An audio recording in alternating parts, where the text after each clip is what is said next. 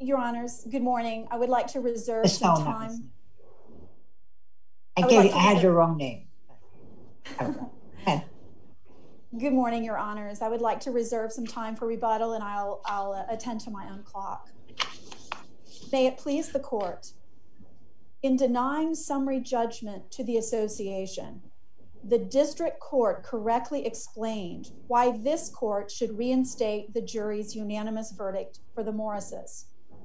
If I were to grant summary judgment, the court explained, the Ninth Circuit would reverse me almost immediately.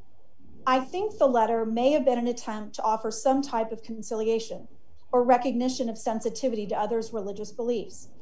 The problem, though, is the summary judgment standard, which requires that the court construe the evidence and any reasonable inference that can be drawn from the evidence in a light most favorable to the plaintiff.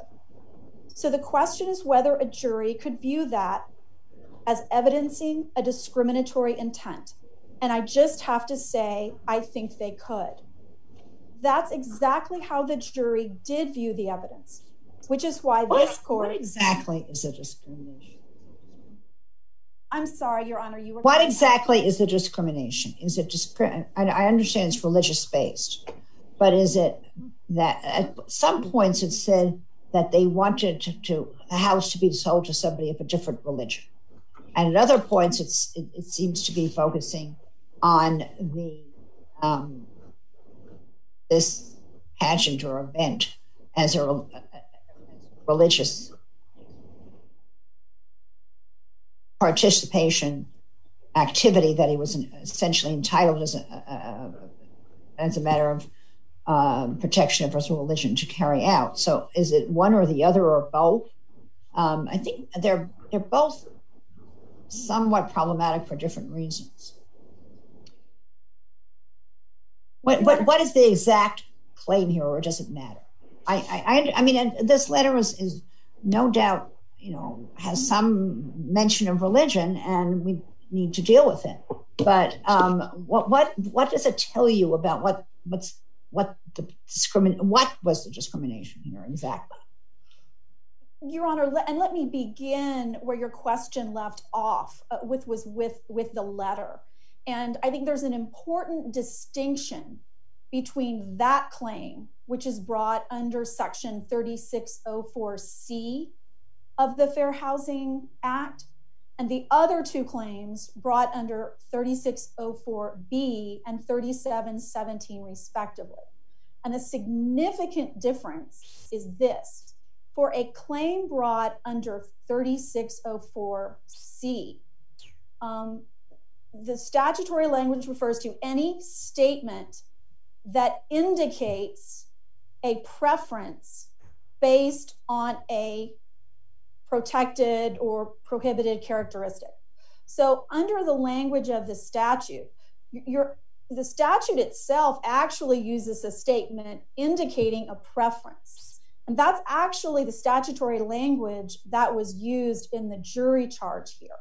So the question is could an ordinary reader have viewed the letter as a statement indicating a preference for religion or preference for the non religious neighbors? What the letter itself refers to as as as non non believers. Well, I have a hard time seeing how that could be the case. Um, in other words, it, it is the statement I mean, I, find this a very hard case, but I, I, that particular suggestion seems um, quite um, not what a reasonable person would think. I mean, they, they, they don't, they think they don't want him to have this pageant because it would uh, upset people who are not of the same religion or who are non-religion. But what suggests that they don't want him because of his religion?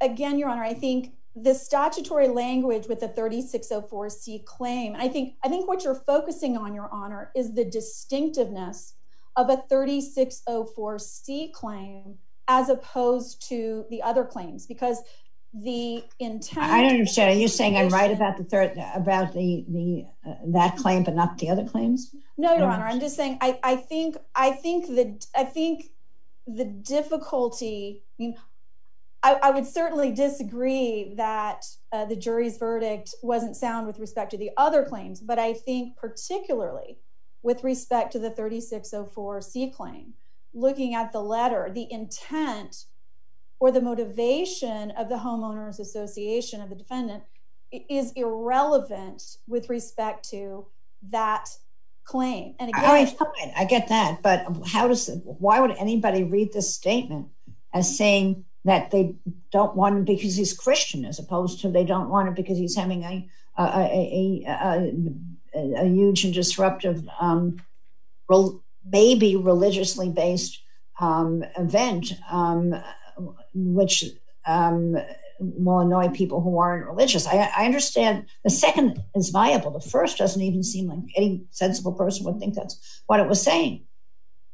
Two responses to that, Your Honor. I think, I think first, the district court, uh, in its summary judgment, in its directed verdict, in its motion to dismiss rulings, certainly thought that it, it doesn't was, matter. It, was it doesn't a, matter. It was a, a reasonable question. distinction. But moving, it's a legal question yes, as as a le- as a legal question, Your Honor, I think the legal question is: Could a reasonable reader, uh, in case law that says that it doesn't have to jump off the page, it's just could a reasonable reader? And I think a reasonable reader reading. And finally, I am somewhat hesitant in bringing up the fact that some of our residents are non-Christians or another another faith, and I don't even want to think of the problems that could bring up. But, but but the whole discussion is about the event, not about the person or the fact that he's Christian. I would point. I I I respectfully disagree, Your Honor. I think I think that that statement um, is very is very much about, and I think it's it's again it's religion is the protected characteristic. So the question that the statute presents is is is a difference being made is a preference being expressed based on religion for religion against religion for not and and here i think if you look at the case law in terms of of courts that have held an ordinary reader standard satisfied in the context of race or or sex or family status the language is is frankly much less facially explicit than we have here with respect to pointing at the fact that some of our residents are non Christians or of another faith. And I don't want to even think of the problems that could bring up. And going on to say, uh, and fill our neighborhood with the hundreds of people and possible undesirable. So we're we did not move. The Morrises did not move for summary judgment or a directed verdict. Your Honor, we're we're not disputing that a reasonable person could read the letter uh, exactly as the district court said its preference was. But that isn't the legal standard. The jury, seven unanimous members of the jury, read the letter and understood it as expressing. And certainly, I just don't think it can be said, Your Honor, which is what this court would have to rule, that the letter could only, only be read the other way, especially with the explicit reference to non-Christians or members of another faith. But but again, we certainly don't rely only on the letter, even if your honor set aside the letter altogether. We have two other claims, the 3604B claim and the 3717 retaliation claim. And ample evidence, the jury had before it, ample evidence uh, to rule uh, for the plaintiffs. And again, the legal standard is was there uh, not just was there sufficient evidence but could the only could the evidence only be read to support the opposite conclusion and i think on this record with you even if we agree with you on one or more of the claims on the rule 50 motion um, the standards are very different for a new trial motion the, judge gets to weigh the evidence and uh, gets to decide whether or not the jury's verdict was clearly against the weight of the evidence, and we review under a very deferential standard. How how can we reverse that on this record? Uh, yes, Your Honor. I think reversal uh, is required for for several reasons. Um, in following up with the discussion um, on the 3604C claim, the district court rested its new trial decision largely on credibility determinations. Uh, it picked two witnesses out of 18. Um, even if this court were to say that the district court didn't commit error and was within its rights to make those credibility determinations, those credibility determinations have absolutely no relevance to the 3604C claim, which only looks to the language of the letter and whether the letter, uh, I guess in this framing, uh, whether whether a reasonable, whether an ordinary reader would view would view the letter as expressing a preference for or against religion. So regardless of that argument, the 3604 uh, C claim uh, would survive. I think the others too, in terms of the district court's uh, ruling for a new trial on the basis of the jury's disregard of instructions. Um, I think the fact that my friend on the other side had to rely on a constitutional confrontation clause where there was case where there was no other evidence linking the criminal defendant to the crime as as an occasion when it is permissible to bust the presumption that juries are able to entrusted to follow instructions. I think that was legal error, and certainly the, the district court didn't really explain uh, that decision. And finally, to the extent that the district court's new trial determination rests on the view that that the jury's verdict was against the clear weight of the evidence, uh, which is itself a difficult standard to meet. And again, based on the ample evidence that we've laid out in our brief, uh, we think that's simply a standard that cannot be met in this case. What about the um, the injunction? I mean, certainly when you um, put the evidence of what happened at the events against the plain language of the of the regulations of the homeowners association, they, they don't seem to be a terribly good fit. Yes, Your Honor. A couple of responses to that, as we as we discuss in our in our brief, Idaho law is clear on the point that any any ambiguity in uh, restrictive covenants should be construed in favor of the free use of the land. So we think, at, at a minimum, that legal principle uh, resolves resolves the counterclaims that that the homeowners association brought. Because as as a matter of Idaho law, um, we agree that there's there's at, at a minimum, as your honor said, a poor fit uh, re-ambiguity, which Idaho law is clear has to be construed in favor of free use of the land. Uh, so against the homeowners association and in favor of the Morrises. You never really answered my question, my initial question about whether, with regard to at least 3604B um, during and after, um, is the claim is your claim rest on the notion that this Christmas event was a religious activity and therefore um, not allowing it uh, was banning the practice of religion and it was a religious practice? Um, your honor i think that was certainly part of it i don't think that i don't think that the answer to that question is dispositive with respect to the statute which refers to religion.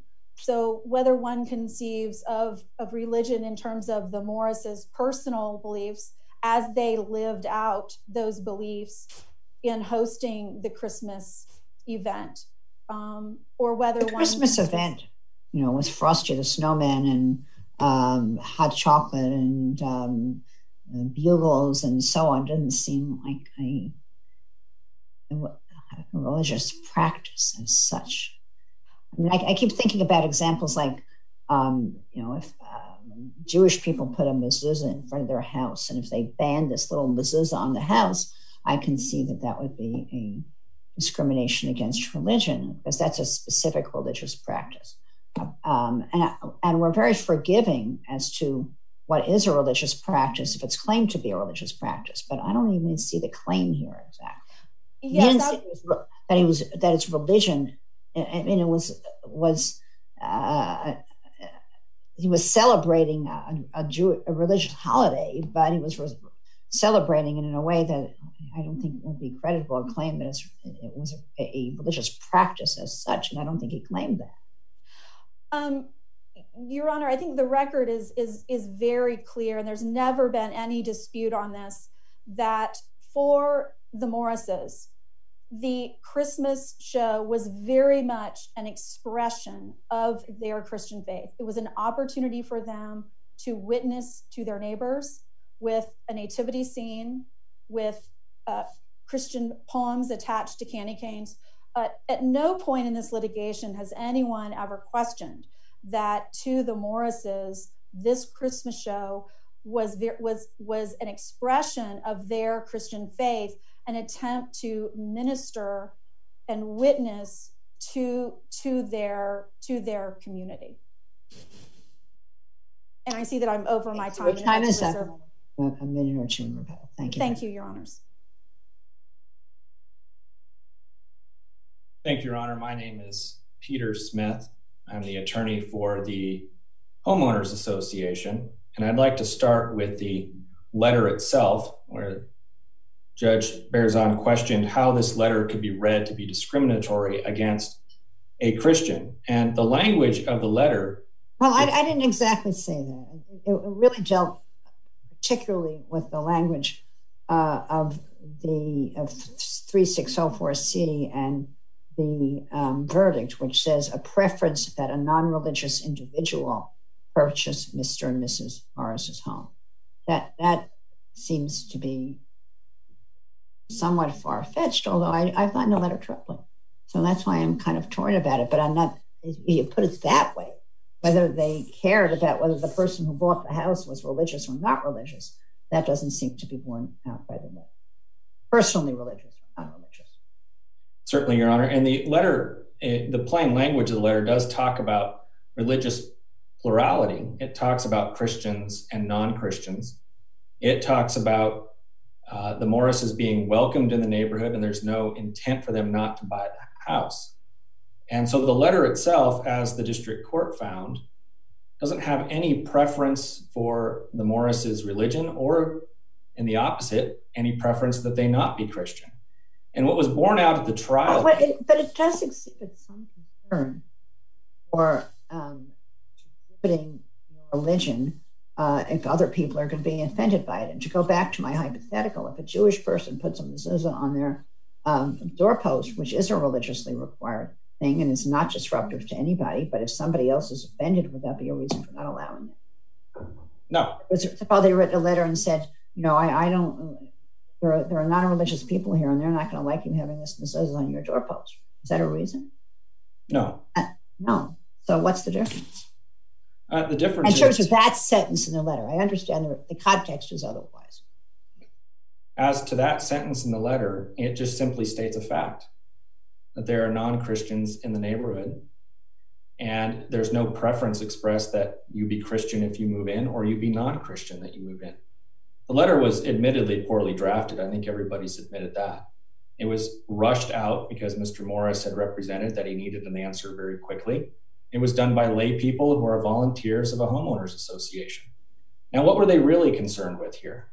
They were concerned with this Christmas program, which really has very little other to, other very little to do with Christianity other than it's surrounding a Christmas holiday. You know, I understand for your opposing counsel's argument on the on the new trial seemed to suggest that the the B claim was was perhaps tougher for the new trial for them. But I think conversely, the Rule 50 is tougher for you on the B, where the standard is subjective intent.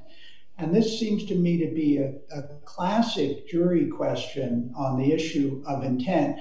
And the trial court, it seemed to me, got it right at summary judgment and then wrong at, Rule 50 and just weighed the evidence in a way that, that was not the drawing the inferences in favor of the jury's verdict. Why is that? Why am I wrong in concluding that? I, I certainly agree with your um, statement that that is the tougher issue, but I'd like to highlight what the evidence was at trial. And by evidence, I mean admissible evidence. And we had a lot of testimony that the plaintiffs put on that was objected to early on about things done by homeowners. There was the Larry Bird recording, which was objected to. Uh, there was the uh, neighbors who had people coming to their neighborhood, parking in their driveways in front of their homes, that they came out and said things to them that probably were not appropriate. That happened. There was no nexus, no connection whatsoever between those acts and the homeowners association. And so after All right, Mr. Uh, Mr. Smith, now what you're getting into is I guess one of the questions that bothered me is uh, who or, or what evidence exactly uh, legally can be attributed to the homeowners association? In other words, you're implying that well, individual homeowners don't speak for the association, right? And so Correct. the jury can't jury can't base their verdict on what those homeowners say or do. Uh, uh, what is the law on this? Uh, you know, on these homeowner associations. Uh, the law is uh, frankly unclear unless we look to Idaho corporate law. The association is an Idaho nonprofit corporation. It exists all of its own. It acts through its directors, officers, and agents. And the court made a very specific finding as to who those individuals were as we went through the trial. The homeowners do not act for the homeowners association. They act on their own. So Mr. Bird, he was not on the board. He was not an officer. He was not an agent. So the judge rightfully advised the jury that that testimony was stricken after it was heard the evidence of the homeowners coming out and if it's not uh, if it's not binding on the homeowners association uh, or, given that instruction, uh, what were the purposes of uh, admitting that evidence in the first place? The judge was asking the plaintiffs to connect it to the homeowners association. Now, I want to point out the plaintiffs tried their case the way they wanted to try it. They presented all the evidence of the harassment over our objection. We had sidebars about it.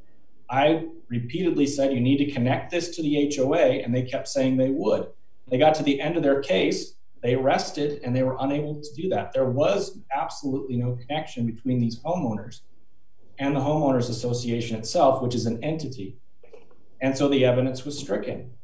If they would have come out and presented evidence first of trying to draw the connection, then we wouldn't have had this problem where the jury heard all of this testimony about reported death threats, which was an overblown characterization of what was said, about what third parties did, in other words, homeowners to visitors to the program. Uh, they were people that were invited through Facebook, over 7,000 invites on Facebook to this event. Over a thousand people attended a night.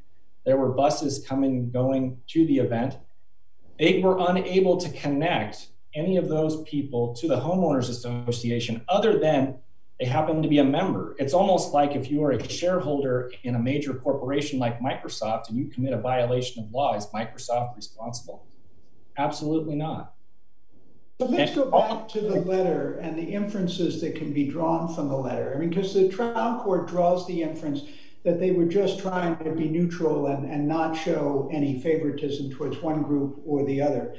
But I mean, that may be a permissible reading, I'm not sure, but there's certainly an alternative reading from the sentence. I'm somewhat hesitant in bringing up the fact that some of our residents are non Christians or of another faith, faith, and I don't even want to think of the problems that that could bring up. That could be read to mean that that they were concerned that people wouldn't like their display of their Christian faith and that therefore it wasn't going to be allowed. Is that a permissible objective for a homeowners association to have if it's read that way? Is that discriminatory to do that? Um, the letter itself, now we've got to put it into context, Your Honor. I think that's key of what the program that we're talking about was a five day event with thousands of people attending it. Now, there were other homeowners who would find that. None of that is in this statement in the letter. The letter, the statement that I just read in this letter says that we don't, we're worried about the reaction that non Christians will have to the display or to what's contemplated. That's what it says. Why couldn't a reasonable juror read that as as expressing as going along with uh, distaste or opposition to the expression of the Christian faith in that? Why isn't that a reasonable reading? It may not be the right reading, but why couldn't someone reasonably read that to say that? Your Honor, simply because that's not what the letter says. It talks about the residents are non-Christians, which is either a fact or not, we don't know, or of another faith, which may be true or may not be true. And I don't even want to think of the problems that could bring up. So they're talking about the other folks of other faiths. And they're saying that they may be offended by the fact that you're expressing. Then is why isn't that um, a uh, a suggestion that um, you connection with this event at least if you had the same event but it wasn't a christian event it be, might be okay your honor I, I believe the question was if the non-christian reads this and thinks there's a preference for a Christian, or a Christian reads this and think there's a preference. It doesn't say that. what i'm saying is this: there's a whole laying out of why this is uh, a big nuisance, and there are older people, and there's a problem with medical emergencies. What is the point of bringing up this? The fact that some of our residents are non-Christians, and I don't want to think of the problems, which seems they're just essentially um, they're not going to like it, uh, and we're going to defend their right to not like it um, suggesting that this event is different from if it were um, a Fourth of July party. And, and, and we're going to not let you have it, um, but we would let you have it if it was a Fourth of July party. So I think there's two points there. First, if it was a July 4 event or any other event, I think the neighbors definitely would have had the same objection. I understand that, but what's that sentence doing in there? I mean, it's um, if, if, they would definitely have had the same um, result, um, then that sentence is, is superfluous. So I, w- I was getting to that, Your Honor, with the other type of event that would violate the terms of the covenants and conditions and restrictions. Whether it was Christian or not, that would violate those covenants. So this one being tied to or purportedly tied to a Christian event, isn't that an endorsement of that religion over other people's religion in the neighborhood? Well, that's certainly not what the sentence says. It doesn't say we can't allow it because we wouldn't allow it if, if it were anything else and we can't favor a religious event. That's not what the sentence says. Correct, but it does point out that if the homeowners association sits by and lets this take place, that they are endorsing one religion over other people's religion. Because if this were a, a, different type of religious event, it really has to focus on what the event itself was doing. And that's what this letter is pointing out. Is it artfully crafted? Absolutely not. Was the testimony at trial that they had any intent of discriminating or even thought about discriminating against Mr. But Mr. Smith, but Mr. Smith, you see, you had to keep in mind the uh, the distinction uh, Judge Collins made in his questioning between the JMOL and the new trial motions right? I mean, there there are different standards that apply in evaluating the evidence, and and and and I think I, I think the point that uh, your opponent is making made earlier is that you know although I think your your explanation of what the homeowners uh, intended or meant by that letter or the draft letter is perfectly reasonable. The question is is that the only reasonable alternate reading that could be made of the letter? Uh, the answer that's, our position. Is there is there no other reasonable explanation for that statement? Uh, there is no other reasonable exp- explanation other than they were concerned about the reaction of other neighbors to this event being characterized as a christian event and being endorsed by the homeowners association how another thing I've had a problem with here is how the Fair Housing Act operates. Um, it, it, it seems to me, with regard to whether he could hold this event, um, this letter um, may well at least be subject to the reading that there is a, a religious, at least in some some respect, and I gather the FHA standard is a motivating reason um, was that it was a religious event and that would offend people. All right. Now, how does that come within the Fair Housing Act? Let's assume that you could read it that way. Um, on the other hand, the letter also says that we're, you know, we don't have, we're not trying to get you not to buy the house, and that seems perfectly credible. Their problem wasn't with him; it was with this event. Um, and so does that come within, suppose they had said, look, you know, please buy this house. We'd love to have you.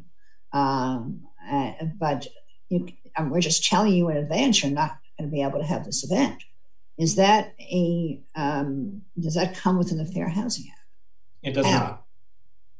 It does not. I mean, that seems to me a, the crux of things that really hasn't been debated or or or, or, or briefed very well. I mean, in other words, wh- where does the Fair Housing Act cut off essentially? Um, it was during the purchase of their house, but it didn't seem to have to do with the purchase of their house, except if he was insisting, I won't buy the house unless you let me have the event. Um, but is that why? Because he was insisting that he, he wouldn't buy the house unless you let me have the event? Uh, he was not insisting that uh, he would not buy the house unless he could have the event. He came and told them that he was going to have the event and that he was going to buy the house and they couldn't stop him. And if they did, he would sue them. Now, whether this event interferes with his housing, it absolutely does not. He can live peacefully in his house. If he didn't have the event, he never would have had this problem. The event is completely unrelated to his quiet enjoyment of his property. What he's doing is he's inviting thousands of people into the neighborhood to stand on his front lawn, sing Christmas carols, interact with Santa Claus for a fee, have dancing characters, including Clifford the Red Dog, the Grinch, and others, and then donate money to a charity. It has nothing to do with housing whatsoever. It has to do with his use of his front yard. And if the covenants, conditions, and restrictions are, as counsel stated, a contract under Idaho law to be reasonably interpreted. Before... I have a couple of questions about the uh, about the covenants. Did you did the um, did the regulations for the homeowner association require that a notice of violation be provided? Yes, Your Honor. In section 7.2, there is a notice that must be. Did given. you ever serve a notice of violation in this case? There was, Your Honor. Scott Corman served, he was an attorney representing the counts or the association, served a letter when the Christmas lights started to go up in September of 2015. Okay. And with respect to um, the other than single family residential use, does that prohibit running a home office? It does not, Your Honor, because from the outside it appears to be a single family residence. The Idaho Supreme Court has interpreted that provision uh, in a lot of covenants and come to that conclusion. However, when you start getting outward showings, which if you look at this event and look at any of the pictures or the videos, it was clearly visible to the entire neighborhood and, in fact, promoted to be that way it doesn't fall within a single family residence definition. Well, with respect to the decorate the exterior of the building visible from a neighboring lot, um, does that apply to uh, Christmas lights? Uh, the board has waived that requirement. You could see them, so in technicality, it could. Here we've got not just Christmas lights. Now, the extent of the Christmas lights is key when you're looking at interpreting the, de- the declaration. I think the you're going toward a waiver argument in some respect. What if you hang a flag? What about the mezuzah that Judge Berzon used? Is that that's visible from the neighbor's lot? Do you need the HOA's permission to hang that? Under the original writing of this declaration, the way it's written, and I think it's unambiguous, the answer would be yes. Has that been enforced? Yes, you, you would need for, for even a modest thing like that, you have to go to the homeowners association to do that. I'm only speaking what the plain language says, and that appeared to be the intent of the draft. Well, that's part of the problem. These are just written so expansively that they allow the HOA to exercise, uh, you know, the kind of discretion that we would often uh, question in the due process context. Uh, sort of standardless discretion because it seems to ban everything, and then you need my permission to get anything back. Well, the Idaho Supreme Court has addressed this issue in, a, in many, many cases. And they have. What issue? I'm sorry, what issue is it? Uh, the issue of interpretation of the covenants, conditions, and restrictions and whether they're binding on the land. And co counsel was absolutely correct. There is a presumption to free use of land. But just as if an interpretation of a contract, if the contract is clear and unambiguous, then the court will enforce it. The specific provision that you're talking about, Judge, about outward displays. That has never been enforced. So the small displays of flags and other signs, I believe there's a number of exhibits of there's a Patriots flag and there's a you know Happy Halloween sign. That has never been enforced, will likely never be enforced, and likely isn't enforced under Idaho code. What Mr. Morris did is took that to the extreme. If you compare those photographs to what he did, there's absolutely no comparison. Uh, 200,000 lights running all over the yard and in the trees and all over the house, including the roof. It's like something out of a movie. And the signs and the music and everything else. So we've got a totally different type of situation. And it, the Idaho Supreme Court has made clear in its waiver uh, case law, including a case from 2014, that there needs to be an express waiver of a right. And we need to look at the conduct in each case and decide if the Idaho Supreme Court or if decide if the homeowners association. Well, let me ask you something. Does it matter whether um, each of the uh, your, your time is well up, so I hope this is the last question. But um, the um, does it matter whether the district court's reliance on each each of the subsections is correct as long as its reliance on one of the subsections is right. It seems to me undeniable that this is a nuisance um, within the description of what a nuisance is. Um, I am not at all sure that he was keeping a camel by having it around for a couple days, and I that seems weird. Uh, and I'm not at all sure that this was a commercial uh, endeavor, and I don't know about the lighting, but the nuisance seems to stand up pretty well. So does that justify the injunction? It does, Your Honor. Any one of those grounds uh, would be a violation of the covenant's conditions restrictions, allowing an injunction. Now, I would remind the court that, you know, granting the injunction, the judge sat through the trial, he saw the evidence, he looked at the pictures. It is an abuse of discretion standard.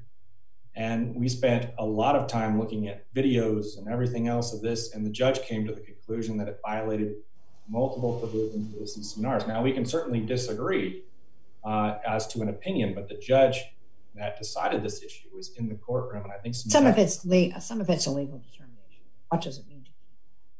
Correct, John. There is there is it's a mixed question. Keep seems to say some continuity.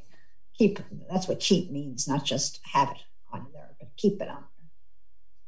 Well, Your Honor, there's no definition of time in the declaration, it just says kept. So that would be, you know, certainly that's a legal question and one that perhaps raises an ambiguity that was resolved on the part of the judge, and rightfully so. I see my time is up, and I'm happy to stand. Thank you very much. Your time is very up. Um, so, Ms. Ho, we will give you uh, four minutes. Go ahead. Thank you, Your Honor. Um, let me first address uh, your point, uh, Judge Berzon. I think you were you were asking at one point about you know what is the link to the Fair Housing Act, and I think your earlier example from the Seventh Circuit case about the mezuzah on the door um, is actually a, a wasn't from the Seventh Circuit case. I didn't know there was a case. It, there okay. actually there actually is, Your Honor. It's a case. It's a case from the Seventh Circuit that the Seventh Circuit uh, held en banc and held that there was in fact an FHA uh, violation. Um, and what this court said in the CCCI versus Modesto case, it agreed with the Seventh Circuit that courts could consider what's called post-acquisition evidence on the basis of language in the Fair Housing Act that talks about the privileges, the privileges associated of homeownership. So this court long ago decided that uh, you could look at evidence that occurred after the acquisition of, of the home. And I, would suggest that in exactly the same way that the, the uh, homeowner or the apartment dweller uh, in the Seventh Circuit case hung mezuzah on the door as an expression of religious faith.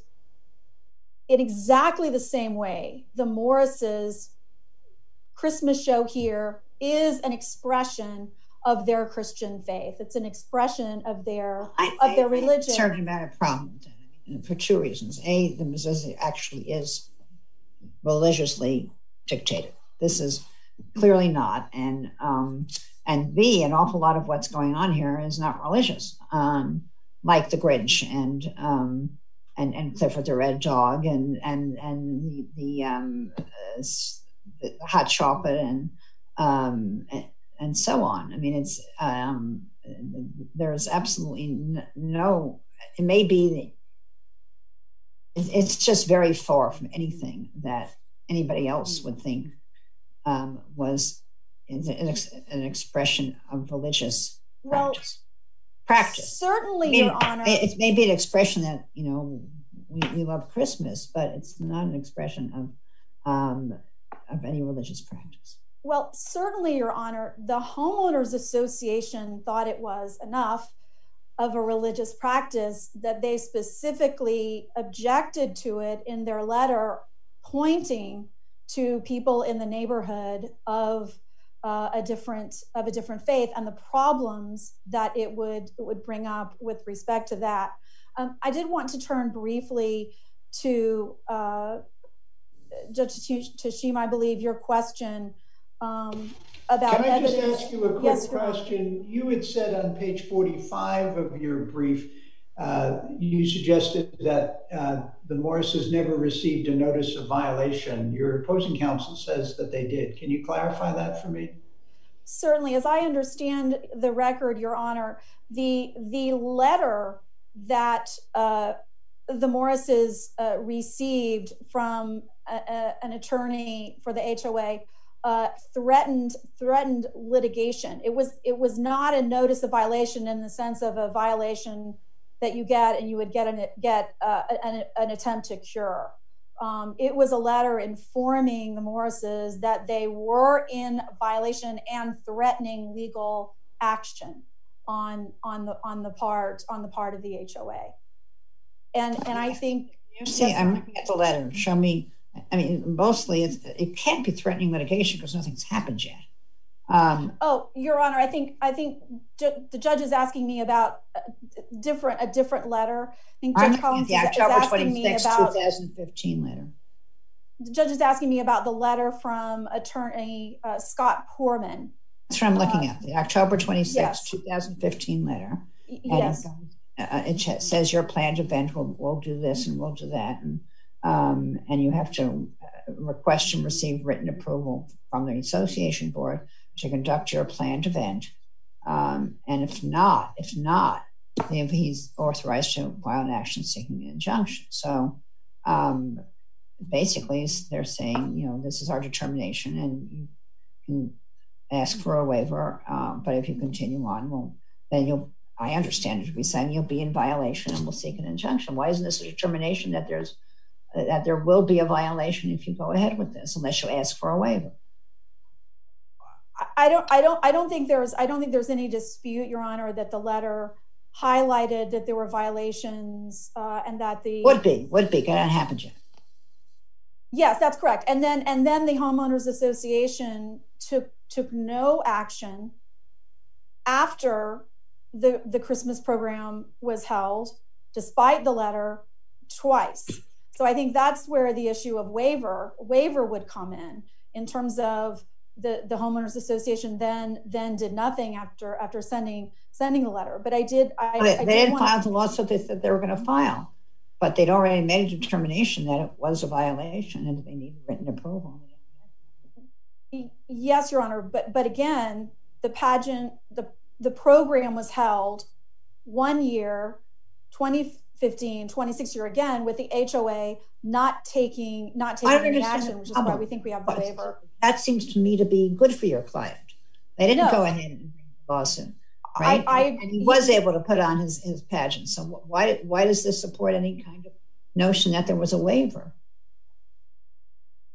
Well, I think to the extent there was a by, by waiver, I, I think I think we're talking about the attempt to um, to use uh, the fact that the the homeowners association sent the letter threatening uh, legal action, did not take legal action.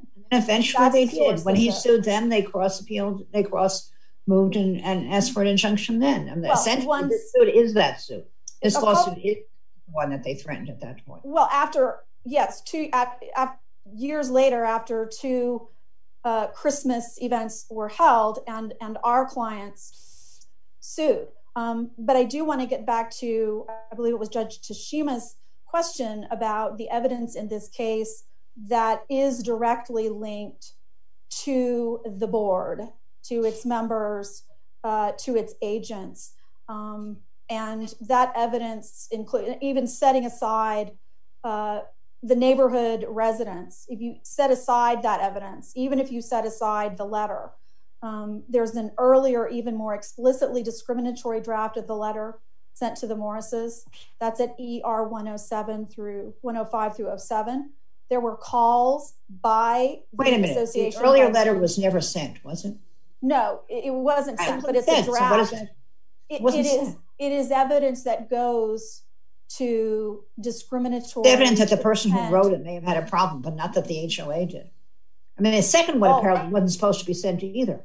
Your Honor, there's Your Honor, there's no dispute that the both the author of the of the original draft, uh, the board asked a former board member to draft the letter, edited the letter, and a board member sent the letter. So I don't think there's there's any dispute that this action. I mean, my friend and I on the other side disagree about the legal impact of it, but I don't think there's any dispute that these are actions properly attributable to the board, including the calls. The draft also? Yes, the draft also. Why? Because it was drafted by former board member at the invitation of the president of the board. Right, but that's why you have a draft. Then people look at it and they say, oh no, this is what Abs- we need. Absolutely. And the jury was free to look at that evidence and determine uh, what it meant. But in terms of the question, which is, was it attributable to the board? I don't think there's ever been any dispute that it is. Well, the letter that was sent is attributable because they agreed Correct. to it. But the Absolutely. letter, and, and that's slightly unclear, but certainly the letter that wasn't sent, which was drafted by one person um, and then given to the board and not sent, I don't see how that's attributable to the board. It was drafted by the board's agent. There's never been any dispute about that. My law clerk drafts something and I tear it up and I say, this is absolutely not what I want to say. Uh, I want to say something different. Is that attributable to me if somebody finds it? I yes, I think it. I think really? I think it is. I yes, Your Honor, I think it is. And, and and again, the jury was free to decide they didn't mean this. They were free to discount what it said, but they weren't. There was no dispute about who actually wrote it or to who it's attributed. Um, and and even right. if you set even even if your your honor even if you set aside the earlier the earlier draft you still have calls by the president and board members to the sellers of the Morris's home to discuss the Morrises, their Christmas program, their religion, and how the association didn't want them pressing their beliefs on others in the neighborhood. That's at ER 156. Board member statements to the Morris's realtor that they didn't want the Christmas program in their neighborhood. That's ER 51. And testimony that the association went house to house spreading false and inflammatory information about the Morrises and their Christmas program, and that's at ER 162 and ER 189 through 91, as well as the uh, episodes of selective enforcement with respect to the 4th of July, which is not a hypothetical. There actually were 4th of July parties. They were, there were, so but the numbers, I mean, I understand that for some reason you say that there were really not very many people at any one time, but I looked at the pictures. There were sure a lot of people. More than the 30 to 50 that you suggest, even in those photos? Well, with, res- with respect to the other incidences, the 4th of July fireworks launched from the street, um, loud, noisy, the police were called, association sponsored block parties that saw people congregating in the streets. Was the 4th of July um, bench considered uh, proper? Was it allowed, officially allowed? Um, I think I think the question the question is what was what what was the homeowners association response to a loud noisy event that unlike the Christmas calling show, the police. the police actually the homeowners association didn't take action your honor but the police actually were called and the homeowners association did nothing. No notice of violation no telephone call no letter no nothing.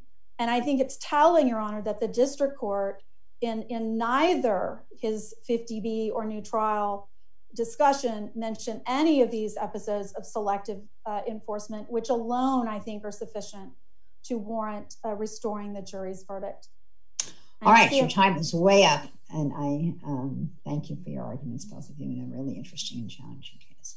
Thank you, Your uh, Honors. Morris versus West Hayden Estates uh, is submitted, and we'll go to the last case of the day and of the week, Bossman versus the Sage International School.